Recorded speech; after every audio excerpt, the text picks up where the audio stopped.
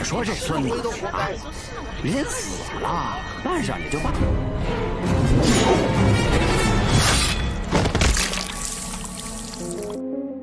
Halo teman-teman, kembali lagi bersama Senar Film.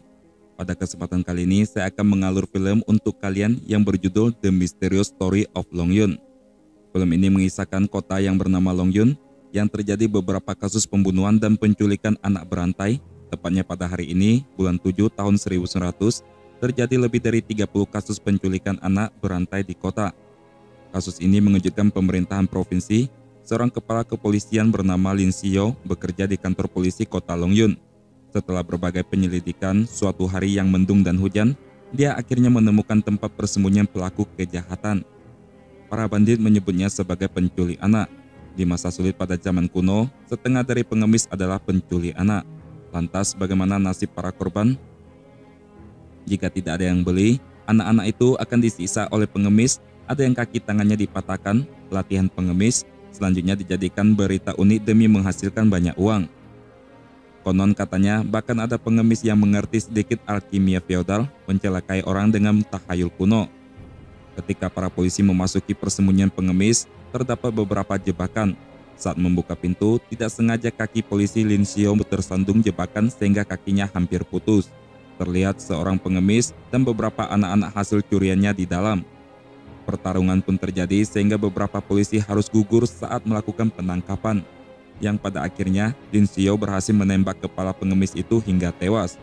Setelah pencuri keji dan pengemis gila itu mati ditembak, kasus penculikan anak yang menggemparkan dunia akhirnya terpecahkan. Sejak saat itu, kota Longyun menikmati kedamaian selama 20 tahun. Sampai bulan lalu, di kota Longyun kembali terjadi 40 kasus pemerkosaan dan pembunuhan berantai. Kriminalis itu menyebut dirinya sebagai bandit macan tutul bermahkota merah, dan film pun dimulai. Di awal film terlihat seorang polisi yang sedang mengejar seorang pencuri. Dengan kelincahannya, polisi itu menangkap pencuri dengan sangat mudah. Polisi ini bernama Lin Xing, yang tak lain dan tak bukan adalah anak dari Kapten Lin Xiao. Kemudian, Xin memperlihatkan seorang tahanan yang berpenampilan layaknya pada zaman dinasti. Orang itu adalah pelaku pemerkausan wanita di kota tersebut. Dan hari esok adalah hari di mana ia akan diadili hukuman mati. Untuk itu beberapa sipil memberikannya makanan terakhir berupa daging untuk ia santap terakhir kalinya. Tapi hanya nasi yang ia makan dagingnya masih utuh. Ia berkata dia akan memakannya setelah kembali. Keesokannya, tiba hari di mana eksekusi itu dilakukan di depan masyarakat.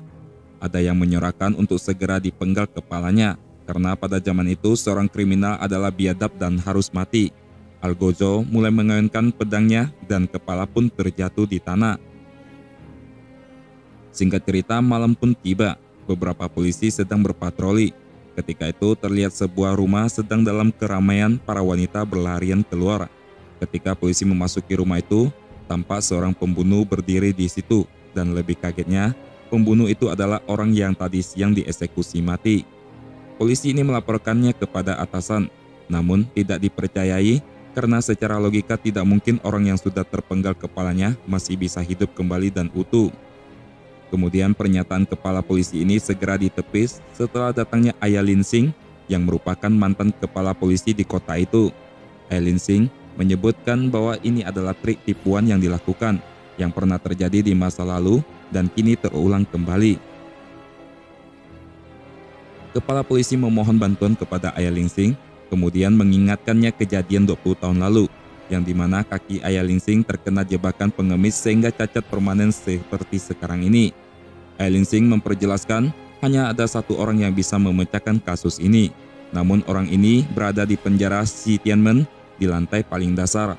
Penjara Si Tianmen adalah penjara khusus untuk tahanan paling berbahaya. Tentu saja kepala polisi ini menolak untuk membebaskan orang yang paling berbahaya. Namun tidak lagi setelah menerima surat dari pembunuh itu yang dikatakan dalam surat itu tanggal 15 Juli malam mendekati wanita cantik di kediaman Fang Xiang. Tertanda nama di surat itu Song San Chiang. Perlu diketahui kediaman Fang Xiang adalah rumah wali kota dan wanita itu yang dimaksud adalah anak kandung wali kota. Lin Xing pun tiba di lantai paling dasar penjara Si Tianmen dan menemui narapidana yang terkurung selama 20 tahun ini. Lin Xing meminta petunjuk dari tahanan ini Namun tahanan ini enggan untuk membantu, mengingat di masa kelam 20 tahun yang lalu, ia dituduh membunuh sehingga ia membusuk di penjara sampai saat ini. Namun Lingsing tahu kalau dia adalah orang yang baik, di saat Lingsing menanyakan apa itu sihir Jiangsu, tiba-tiba saja Lingsing merasa pusing dan sesosok vampir menyerangnya dengan agresif. Pertarungan pun tak terhindarkan di sini.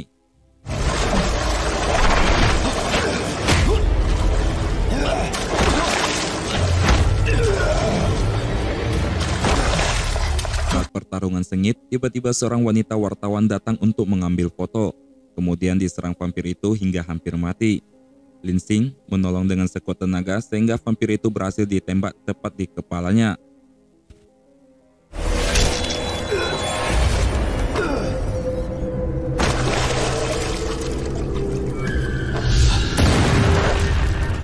Melihat ketulusan Lingsing, Tahanan ini pun setuju untuk membantunya asalkan Linsing mengambilkan barang yang dulu pernah ditahan di kantor polisi.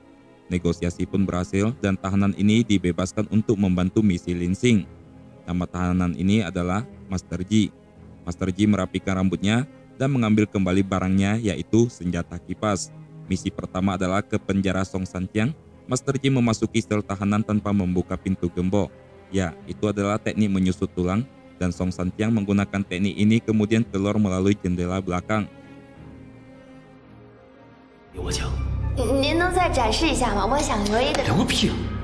Tujuan berikutnya adalah ke kedai Cusian. Master Ji mengetahui kedai Cusian ada penyihir di sana. Dan benar saja penyihir itu membuka kedai peramal yang dinamakan dari 10 ramalan, 9 tidak tepat. Singkat cerita mereka bertiga masuk ke dalam Tampak Master Ji dan peramal itu saling kenal dan memiliki masa lalu bersama.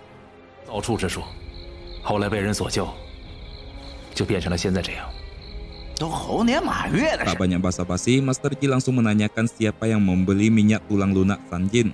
Namun tiba-tiba Master Ji diserang oleh salah satu penyihir, pertarungan sengit pun terjadi dan Master Ji berhasil mengalahkannya.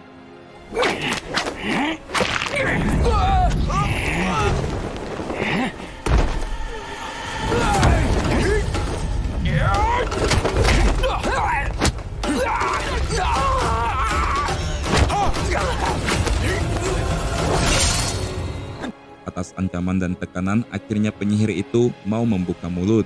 Namun tentu saja informasi ini tidak gratis dan mengharuskan mereka membayar sebesar 50 koin. Di antara mereka bertiga, wartawan wanita ini sangat kaya dan membayarnya. Informasi yang diterima adalah geng harimau putih yang datang membelinya. Mereka bertiga pun menyamar masuk ke dalam geng harimau putih untuk menggali informasi lebih lanjut. Dan pada saat itu, geng Harimau Putih sedang mengadakan pertemuan dengan geng lain untuk bertaruh wilayah kekuasaan. Adu mental lebih tepatnya, geng Harimau Putih memulai dulu dengan memotong sebelah telinganya. Kemudian dilawan geng hitam dengan memotong ibu jarinya. Semua ini tampak mengerikan. Kemudian pria baju hitam mengambil koin di minyak yang dipanaskan.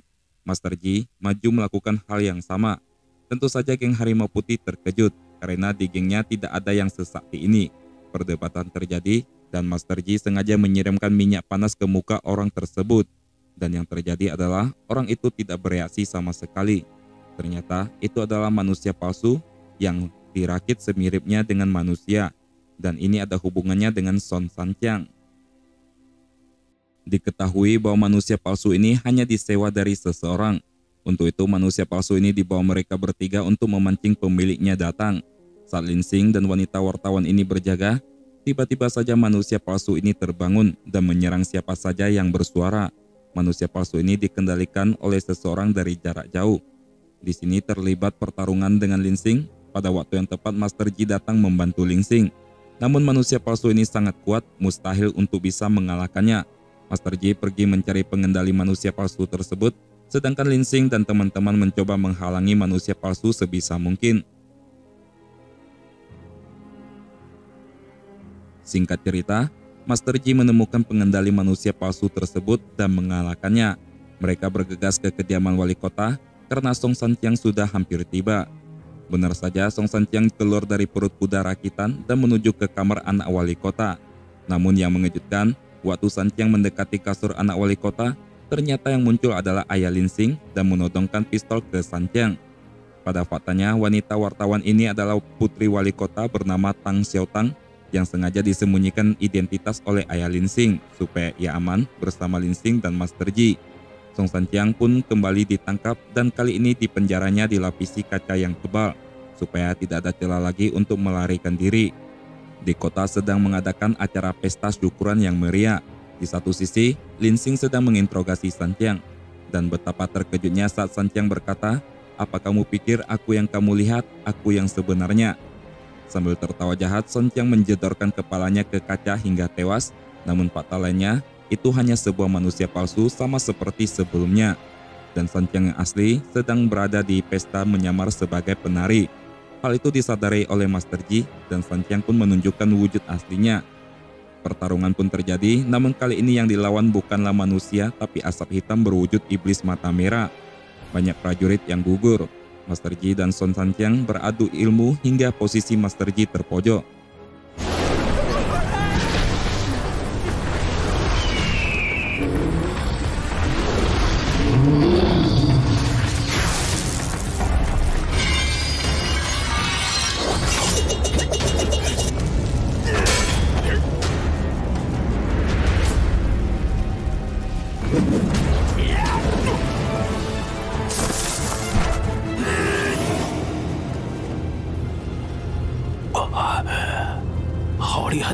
Di saat yang tepat, Master Ji mengambil pistol dan pelurunya diolesi darah Linsing, kemudian menembakkannya dengan tepat sasaran, membuat Santiang terpental jatuh, kemudian menancapkan pedang yang berapi ke tubuh Santiang hingga terbakar. Dan film pun tamat. Oke, untuk ending ini cukup sangat membingungkan karena tidak dijelaskan apa tujuan Song Santiang ini sebenarnya. Tapi di sepanjang perjalanan film, kita akan dibuat semakin penasaran alurnya seperti apa dan bagaimana hampir tidak ada jeda untuk saya melewatkannya. Mungkin sekian dulu pembahasan film kita kali ini, dan ketemu di alur film berikutnya. Saya Erwin cabut dulu, dadah.